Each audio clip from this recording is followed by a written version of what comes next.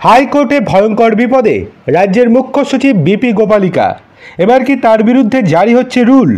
নিয়োগ দুর্নীতি মামলায় আবারও কলকাতা হাইকোর্টের প্রশ্নের মুখে পড়লেন রাজ্যের মুখ্য সচিব বিপি গোপালিকা।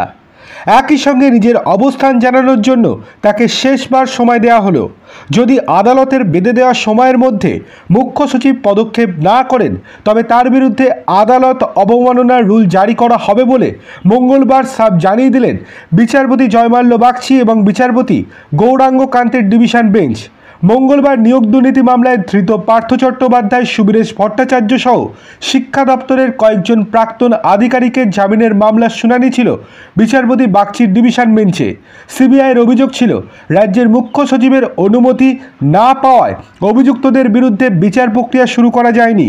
কেন তিনি অনুমতি দিচ্ছেন না? মুখ্য সচিবের কাছে তার ব্যাখ্যা তলব করেছিল রাজ্যের উচ্চ আদালত। রাজ্যের তরফে যুক্তি দেওয়া হয়, লোকসভা ভোটের কাজে ব্যস্ত মুখ্য সচিব। তাই তিনি জবাব দিতে পারেননি। রাজ্যের যুক্তি শুনে অসন্তোষ প্রকাশ করেন বিচারপতি বাগচি। তিনি মন্তব্য করেন, তদন্ত এবং বিচার প্রক্রিয়া মসৃণভাবে চলছে কিনা সেটা দেখা আদালতের কাজ। যদি দেখা যায় সেখানে কোনো বাধা আসছে, তবে তা সরানোর কাজ করতে হবে।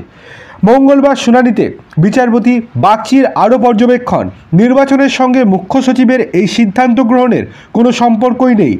অযথা এই বিষয়ে সিদ্ধান্ত নিতে তিনি দেরি করছেন। তিনি এই মামলার গুরুত্ব বুঝতে ব্যর্থ হয়েছেন। মুখ্য সচিব নিজের বিধিবদ্ধ কাজে এবং বিধিবদ্ধ দায়িত্ব পালনে সম্পূর্ণরূপে ব্যর্থ। পাশাপাশি আদালতের আরও মন্তব্য, আমাদের কি এটা ধরে নিতে হবে যে, অভিযুক্তরা এতই প্রভাবশালী যে, রাজ্যের মুখ্য সচিবও বিচার প্রক্রিয়া শুরু করার বিষয়ে চূড়ান্ত সিদ্ধান্ত নিতে পারছেন না। এই দুর্নীতির শিকড় অনেক গভীরে রয়েছে। অনেক উচ্চপদস্থ কর্তার বিরুদ্ধে অভিযোগ উঠেছে। এটা মাথায় রাখতে হবে মুখ্য সচিবকে।